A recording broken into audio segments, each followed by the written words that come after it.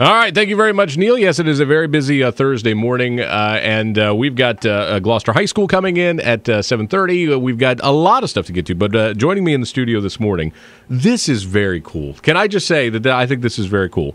it is J.M. Lee to talk about her new book, When October Ends, book one of the Novus Proprius Chronicles. J.M., also known as Jessica Lee, because we want to do a, a, shout out to all your friends at at Peasley. Are they listening? Oh wait, I got to turn your microphone on. There we go. Are they listening? Some of them. No, they're not. No one listens to this program. uh, but uh, very now. So, what grade are you in at Peasley? Uh, eighth. Eighth grade at Peasley uh, Middle School in Gloucester. You have written a book, and I'm not talking like what I did on my summer vacation. I'm talking like a book book. Like how many pages are in this thing? 243, I think. 243 pages. that is like that would be three times as long as the longest book I've ever read. That is, I mean, that is an incredible, uh, an incredible accomplishment. Uh, I, am blown away by this. So tell me a little bit. Uh, tell me a little bit about the book, what it's about, and maybe, and, and then we'll get into kind of where the idea came from and, and what you were thinking when you did it. So the the story does, takes place after an environmental disaster, but no one really knows what year it is. Um, the main character, Zaina, she starts having like she's pretty normal and then she starts getting like these random mood swings and like stuff starts changing and on top of that people start talking about prophecies and but no one's really telling her what's going on so and so she's trying to figure out what the prophecy is and what's going on so very cool so now what now how long how long did this take to write I mean, this is like, are you like Stephen King? Did you knock it out in like a weekend? no. Oh, okay. It, it took me a year to write it. Really? So when did you start? How old were you when you started writing it? I started writing it when I was 12. Wow. That's incredible because you're 14 now. Yeah. All right, even though the book says you were 13, but you were 13 when you finished it. Yes. All right. So that that is just incredible. So as a 12-year-old, did you I mean, you know, you just sat down and said I'm, I'm just, you know what? I'm just going to write a book. Yeah, well, not really cuz uh, when back then I just randomly started writing stories, but I never finished them. Yeah. So I just kind of wrote the diary entry in the beginning and then I picked it up later. That's see now that's interesting because a lot I think that happens to a lot of uh, to young writers. They sort of start on an idea and then they get kind of you know ten pages into it and they go nah. So what was it about this story that made you that you wanted to carry it through, where you wanted to write and and, and figure out what the ending was? I'm not actually sure. I guess the there was a lot of possibilities, so my mind just started like turning, I guess, and yeah. Did, now, did you did you break it all down? I mean, how do you write? Because we always like to talk to writers and kind of find out what their process is. Did you? Because some writers do like an outline, you know, where they they're, they're very formal with it, but then some people will do like where they just kind of go with the flow, and then they kind of try and tie up the loose ends uh, as they go. Did you? I mean, did you break it down and have like an outline of, of how you're going to write it? Well, to be honest, the first book I just kind of wrote it, and then as I was reading over it, I kind of started thinking more about it, and some of the stuff I had to change to make more sense, but with like the second book, I wrote a timeline, and that's helped me more. I like that. Just like in my first book, this is how I wrote it, but then in my second book, I changed my process completely. Is that? I mean, that's it's very, very interesting. I know your English teacher is probably saying, "Please say that you used an outline. Please say that you did a rough draft. Did you do a rough draft, or did you just write it?" I wrote it, and then I when I read through it, I changed some stuff. So yeah, yeah. that's incredible. Now who now who edited it? The book. My grandma, Darla Lee. Oh, really? Good. Shout out to Grandma as well. She a good editor? Yeah. Did you did you slip her a little a little cash for the editing job? No. Hugs and kisses? She got hugs. Okay, very good, very good. Grandma's like that better than cash anyway. So now, what is your? Uh, we're because we're talking about the book when October ends. It's book one of the Novus Proprius Chronicles uh, by uh, Jessica Lee, uh, who uh, is 14 years old. This is incredible. I, I, I love this because I tell kids all the time when I was a, when I was 14, when I was 13. Uh, you know, first of all, they had just invented words, and it was very hard to write a book. But I mean, like to write a book, you had to know people, and it was a process. But I mean, for for kids now, you can do you can totally do this. I mean, this is this is proof that you can totally do it. So, uh, what is your favorite part of the book? Uh, and and and maybe tell me a little bit why it's your favorite part. I like chapter twenty because I'm not really sure why I like it, but I think it's funny, so it's it's just my favorite. What chapter. happens in, in chapter twenty? Um, she's on a boat and she's trying to learn how to fight and I guess like combat type stuff. Sure, hand to hand. Yeah. And doesn't go. It doesn't go very well. Well, it's just funny because the person that teaches her doesn't really like her very much. So he makes it a little a little tough on her. Yeah. I got you. Very good. Very good. So now, uh, so who do you? Because I mean, you're you're 14. Uh, but do you read a lot? I mean, I would imagine that you you have to be a pretty voracious reader. Yeah, I do like reading. yeah. What do you who do you like reading? I like reading Cassandra Clare's books, The Mortal Instruments. Okay. I have no idea what that is, oh. but uh, but that's okay because I'm sure so, I'm sure people do. I don't get a chance to read. If I read a newspaper, I'm I'm very lucky. What else did now? Do you?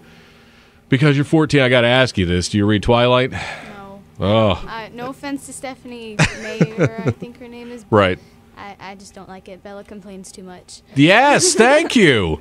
Thank you so much for saying that. I thought that it was just me.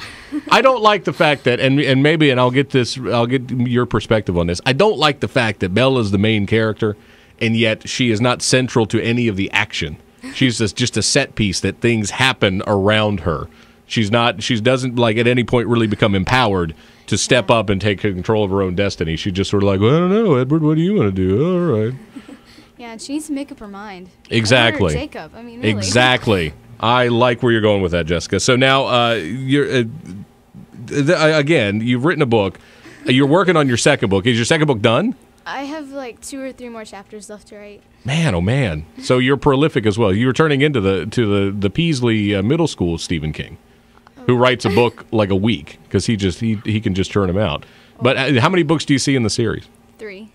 Three. And then what are you going to do after that? Are you already thinking about? Do you have other stories in mind? Other things that you want to do? A couple. Can't reveal any of them. Well, I have one book in mind, and it's kind of steampunk themed. Okay, very good. Because people, uh, I don't know that our audience necessarily knows what steampunk is, but explain what steampunk is. Can you explain it? I know what it is a little bit, but it's like Victorian age stuff, I guess kind of Victorian like science fiction. Kind of to like yeah, jamming like Victorian science fiction yes. is uh, that's actually a pretty good uh, definition of steampunk. Now that's very cool. Now where can people get the book? Um, it's for sale at Twice Told Tales right now, and on my website. Okay, what's the website? www.novusproprius.com. Oh boy, you picked the tough one. Novus, N O V U S P R O P R I U S dot com. Yes. Very very cool. And, uh, and now Amazon and Amazon as well. Really? Oh, oh, you get getting all the plugs in. Very good. So, uh, lots of different ways people can pick up the book. Uh, second book, you're going to be the same thing. When do you think the second book will be on? Um, probably spring. Spring, you think? Okay. Now, can people can people we, we, can you give them? A, is there anywhere they can go for a preview so they can read a little bit of it and see what it's like? okay, all right. That's fair enough. That, that's that, that's all right. That's all right. I mean, you're you're 14. You've, you've written a book, and people should pick it up just for that. Now, this is something interesting. Your dad was saying that this has actually kind of inspired some of your classmates um, at Peasley. At Peasley, and apparently some people in Germany too. some just random people in Germany just went friends. Oh, friends. Oh, okay. I was about to say, wow, that's that's that is just the most random thing ever. If your book just some guy in Germany wakes up, I'm going to write a book today, and he just sits down and you know, I heard Jessica wrote a book. Uh, so so you have friends in Peasley who, who are actually writing books as well. Well, I have two friends that like writing, and one of them has started writing a book, and then there's a person at Page who she needs to finish one. What's her name? Emily Smith. Emily, Jessica's calling you out. You got to finish your book so you can come in and do your interview and uh, and have your dad videotape you while while you're doing the interview. Uh, all right, very good. It's uh, the book's called When October Ends. It's book one of the Novus Proprius Chronicles. Uh, it's N O V U S P R O P R I U S dot com. You can check it out there, Amazon, all that. Uh, Jessica, thank you for coming in this morning, and good luck with the book. Uh, you can pick it up at Twice Told Tales. You can pick it up all over the place. Did I forget something? I forgot something. What did I forget? Oh, I, am supposed to mention that on the 29th of January, we're having a book signing at, um, at Twice Told Tales. And also this weekend, we're going to be at MarsCon. So. What is that? It's in Williamsburg, I think, and it's like a sci-fi convention. Oh, cool! That's really cool. Have you been to one before? No. You're going to be terrified. I You're am. going to people are going to creep you out at that thing. Uh, because there's going to be some there's going to be some nerd dressed up like uh, like uh, Captain Picard from Star Trek, uh, saying uh, that he wants a copy of your book. It's you're probably actually going to have a, a, great time. It's going to be a lot of fun. Uh, conventions are conventions are a little weird when you go to your first one, but they can be a lot of fun. Jessica, thank you for coming in this morning. We appreciate it. And when is when is the book signing again at Twice Told Tales? Uh, the 29th from uh, 11:30 to 1:30. Very, very cool. This is uh, this is awesome, uh, Jessica. Let us know when you're uh, when you have the when the second book comes out, and we'll uh, we'll have you back in. We'll talk to you more about uh, about the uh, Novus Proprius Chronicles. It's about a werewolf, right? Werewolves and other things. Werewolves and other things. Well, all I can't give it away. Well, I know. I understand. I understand. Like any good author, that's the tease. You see, you tease people to read the book so they can find out what it's about. Very good. Anything else? That's it. Okay. Nothing. You're making faces at the camera. I'm going to call you out on that. All right. Very good, uh, Jessica. Thank you for coming in this morning, and good luck with the book. We'll be uh, talking to uh, to you more about it. It's uh, 7:19. Good morning.